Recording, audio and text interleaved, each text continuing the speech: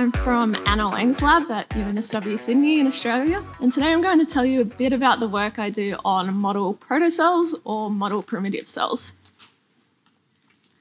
So I'm sure many of us here are trying to answer the question of how did life on Earth begin? Now I'm focusing on a very, very specific point in time when life had maybe begun to transition from super simple primitive cells, perhaps composed of a fatty acid bilayer membrane, to more complex protocells or primitive cells, more akin to modern biology. At this point in time, we'd started to see the emergence of phospholipids and some simple enzymes, but we hadn't yet thanks, but we hadn't yet seen uh, the emergence of all the complex cellular, cellular machinery that exists in our cells. So things like membrane transport mechanisms, for example, that transport nutrients and waste molecules out of the cell. Maybe they hadn't come around yet. So that begs the question how are these protocells actually able to feed themselves? How were they able to grow? How were they able to divide? So I'm trying to answer this question by building a propagating synthetic cell. What that basically means is it's an artificial cell that is able to feed itself, it can grow, it can divide, and I'm trying to achieve this using the simplest components possible to try and understand how life transitioned into what we know it as today. So this involves a pretty large collaboration, and uh, with my collaborator in Japan, Yutatsu, he's been able to build a preliminary synthetic cell composed of a phospholipid bilayer membrane, also known as a vesicle. And this vesicle is composed of a mixture of POPC and POPG, two types of phospholipids. And within this vesicle, we have a system that can be used to actually synthesize fatty acids and eventually synthesize phospholipids that can then be incorporated into the bilayer membrane, actually allowing it to grow. Now, one of the big problems with this system is that you can only encapsulate a small number of nutrients actually within the synthetic cell, within the vesicle. There's only room for so many molecules. And if you encapsulate as many as you can, you only really get 1% to 2% membrane growth, which isn't really sustainable for a cell that we want to make grow and divide. So what we really need is some sort of regular nutrient supply. So we need an external feedstock of nutrients that can actually permeate the lipid bilayer membrane to make its way from the outside of the cell into to the inside of the cell. That way we can actually achieve continual membrane growth. So that's my role in this project. I'm trying to figure out a way that we can actually get the nutrients that we need for the synthetic cell to function to make its way across the lipid bilayer membrane to the interior of the synthetic cell. So in order to do that, I've needed a technique that can be used to monitor solute permeability or the permeability of different nutrients. And to do that, I'm using what's known as a shrink swell assay. Basically, that involves preparing vesicles encapsulating a fluorescent dye known as calcein. When you mix these vesicles with your solute or your nutrient of interest, uh, the difference in osmolarity actually causes the vesicles to shrink because water rapidly exits the vesicle, and we kind of see this, these shriveled up, sort of shrunken structures.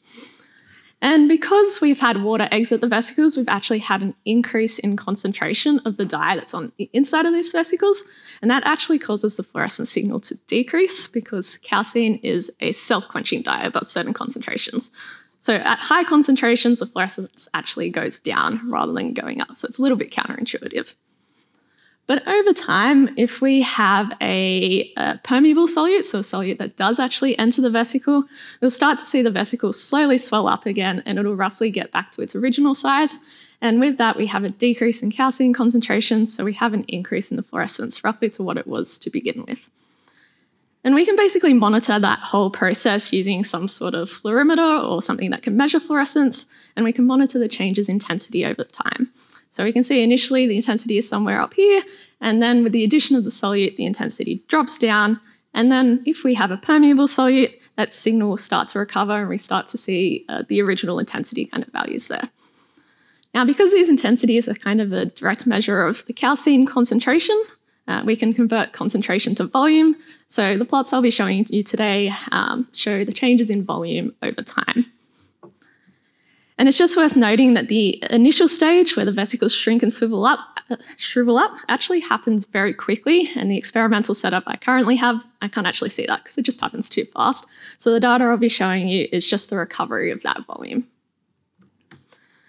So the basic workflow for a lot of my experiments is to first prepare the vesicles composed of an equal mixture of POPC, POPG in 50 millimolar HEPES, so that's just the buffer. Um, it's roughly buffering around physiological pH. And these vesicles all, enca all encapsulate that fluorescent dye known as calcein. I then make sure all the unencapsulated calcein is removed and I mix the vesicles with the solute or the nutrient of in interest and monitor the changes in fluorescence over time and then determine the changes in volume over time. So this is what some of the data looks like. On the left, we can see some examples of some permeable solutes. So our control here was the 50 millimolar HEPES in the blue, and all of this data is normalized to the volume of that control at time zero. So we see in the blue, the 50 millimolar HEPES, it's just a flat line there, not much is changing, and that's what we'd expect. It's our control, it's what we made our vesicles in, so we don't expect any volume change there. But when we mix our vesicles with something like glucose or glycine, for example, so the red and the purple, we see that characteristic curve telling us that the volume is actually increasing after the vesicles initially kind of shriveled up. So that tells us that these two solutes are both permeable across these lipid bilayer membranes, and glycine is actually more permeable than the glucose because it increases at a faster rate. On that plot, I also have glycerol. Um, at first glance, it kind of looks like nothing happens there, but glycerol is known to be super permeable across lipid bilayers, so it's likely that I just actually missed that initial shrinkage and swelling stage, so it just looks like nothing's happened right now because I missed the first kind of couple minutes of this process. Now on the other plot, we have some examples of some impermeable solutes, and you can see there's quite a few there. So a lot of the solutes I've looked at so far are quite impermeable, and that's uh, we can see that there's like those flat lines at the bottom there. There's no increase in volume over time. So over these, this time frame, none of these solutes are permeable, which is kind of disappointing because a lot of these solutes would be useful nutrients for a synthetic cell. Things like AMP, ATP, uh, for energy, and then something like sodium acetate I was hoping to use as a carbon source to actually synthesize fatty acids and then the phospholipids. But it's not particularly surprising that a lot of these solutes were impermeable. Um, it's relatively well established in literature that phospholipid bilayers aren't the most permeable things, especially when comparing them to a fatty acid bilayer, for example. So fatty acid bilayers are kind of useful to think about because they have been proposed uh, to have made up the first protocell membranes before we saw the emergence of phospholipids. And we can see in this plot here for something like glucose, it's a bit less permeable in phospholipids than in fatty acid bilayers. For something like sodium potassium, it's significantly less permeable, and like over this scale, that, that's a really significant margin there. And then for something like AMP and uh, magnesium, uh, that's not actually on the scale shown here for phospholipids, so it's way less permeable in phospholipid membranes than it is in fatty acid membranes. So again, these results aren't particularly surprising, but I still wanted to try and find a way to actually get these nutrients to permeate the bilayer. So I've, today I'm going to talk about a couple of different strategies I've tried to use to actually improve permeability, the first of which is modifying the membrane composition. So as I've said, all the vesicles I've been working with so far have been uh, composed of POPC and POPG. Now these lipids are quite nice to work with. They're cylindrical in shape, so they pack together in these really nice bilayers. They're very uniform. But what would happen if I were to, say, disrupt the way the lipid molecules actually pack together? What if I introduced a lipid with a different shape? Uh, something like lyso-PC, which has a single carbon chain rather than two, but it still has a relatively bulky head group, so it has this more conical-like shape. And when that gets inserted into bilayers, it can cause defects to form and pores, which would potentially allow nutrients to pass through the membrane. So I wanted to explore what effect adding small quantities of lyso-PC would have on permeability. And the other lipid I looked at is oleic acid, which is a fatty acid, has a single carbon chain and a relatively small head group. But because it's a fatty acid, it has very different properties to what phospholipids do. So I wanted to explore how those different properties might affect the permeability of the membrane. And generally, I found that they didn't make much of a difference. So first of all, I prepared all the vesicles uh, the same way I did before, but added about 10% either lyso-PC or oleic acid to the system. And generally, yeah, as I said, didn't make much of a difference. Um, we have one of our example permeable solutes there, so glucose, which we saw was permeable earlier. We can see in those three curves there isn't really much difference between them. If anything, the green curve, the oleic acid, is shifted down slightly, but the shapes of the curves are all very similar, which is telling us that the permeability hasn't really changed. And we see something simple, similar with one of the impermeable solutes, that being lysine. We still have all those flat lines, so we saw no improvement in permeability there. And this was generally the case across a lot of the different solutes or nutrients that I actually tried. There weren't any marked improvements in permeability, except for when I tried sodium acetate. So when we had the presence of 10% oleic acid in the system, we see a significant improvement in permeability compared to what it was originally with the POPC POPG system, and also compared to adding the 10% lyso-PC. So we do see that curve that's telling us that the vesicle is swelling up again, and we actually have the solute molecules permeating into the vesicle, um, which is good news. Uh, we saw that one of these uh, solutes actually kind of worked and actually were able to permeate the membrane. And as I said, um, it was great to see that it did work with sodium acetate because we wanted to use that as our carbon source for fatty acid synthesis, then phospholipid synthesis, and that would actually help getting the membrane to grow. But as I said, overall, it didn't work for a lot of the stuff I tried. So I wanted to try a second strategy to try, try and improve permeability, and that was through the addition of divalent cations. So in literature, it's pretty well established that divalent cations also affect the packing of the way uh, of the lipid molecules, so the way the bilayers actually pack together. So I wanted to see if that would make a difference to permeability. And again, generally, I found it didn't make that much of a difference, except with the presence of uh, sodium acetate.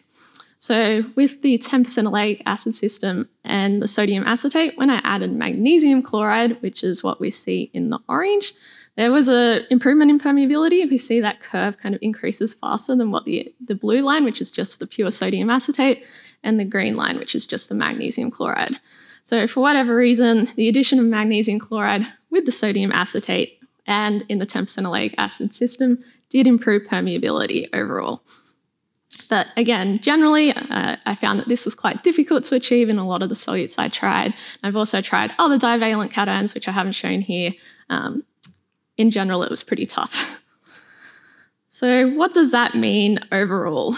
So, generally, I've found that permeability can somewhat be modulated for specific solutes by changing the membrane composition, and divalent cations can somewhat improve the permeability of specific solutes. But overall, it was pretty difficult to actually see any marked improvements in permeability for a lot of the different things I studied.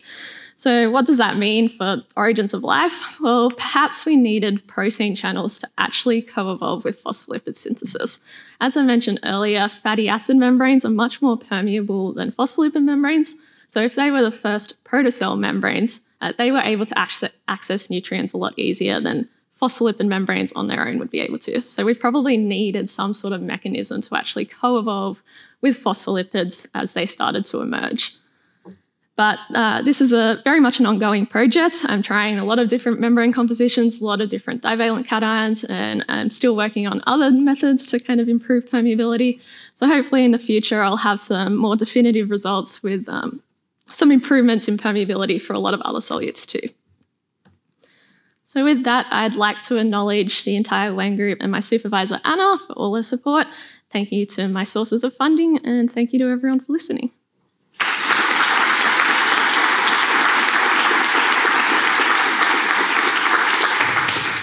Okay, we have time for a few questions.